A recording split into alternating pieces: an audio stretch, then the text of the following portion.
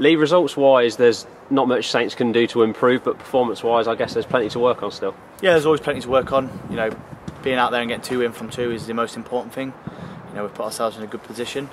Um, but performance wise, out on the pitch, there's a few things we've got to work on, and we've worked on them this week, and hopefully they'll show against Bath. When you've had those hard games, is it almost better than having two easy wins in the first couple of games of the season? Yeah, definitely. It gets you straight. Yeah, I was going to say, going straight into a Gloucester game away, you know, it's, it's what you want. You know, it shows that pre-season has really worked hard. You've really worked hard in pre-season, and going down to Gloucester and getting a win has shown, and then coming here against a very strong Exeter team and getting a win there is very good for us. Tough to go to Gloucester and win, tough to go to Bath and win as well, I guess. But you led the side to victory there last season. Yeah, yeah, it is tough. Bath's a very tough place to go to, and they've they've recruited well. They've got good players.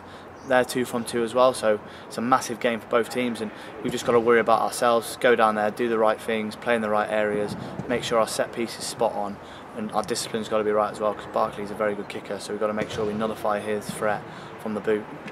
Where are they dangerous in open play? Uh, you know, Abendanon is phenomenal fullback. You know, you think he's going to kick and he'll run. Um, Banahan's a very strong runner, and their wingers as well, are very quick. Eastmond's come in and showed last week. You know, the try he scored, he's a very jinky, jinky runner, and we've got to make sure we watch both of them. We're all aware that we've not been firing on all cylinders this last couple of weeks, and there's areas of our game that we need to work on. You know, we've, started both games very well and, and finished them well, but um, you know, the bits in the middle um, letting teams back into the game is is not you know not good enough. So uh, we need to, we need to sort that out if we want to get a result down at the Rec on Friday. You're one of the many new faces who featured for the Saints this season. You mentioned that letting teams back in has been a bit of a problem. Is that just a case of you guys just settling in those final little bits that you need to get right? Um, yeah, I think uh, I think maybe we're guilty of taking off, off the pedal a touch. There goes the camera.